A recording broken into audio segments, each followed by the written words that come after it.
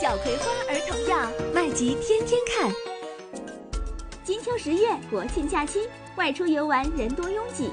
麦吉提醒你要注意出行安全遵守公共秩序哟。金鹰卡通卫视美美家庭剧场国庆期间熊出没猪猪侠等精彩动画电影播不停快和麦吉一起看起来吧。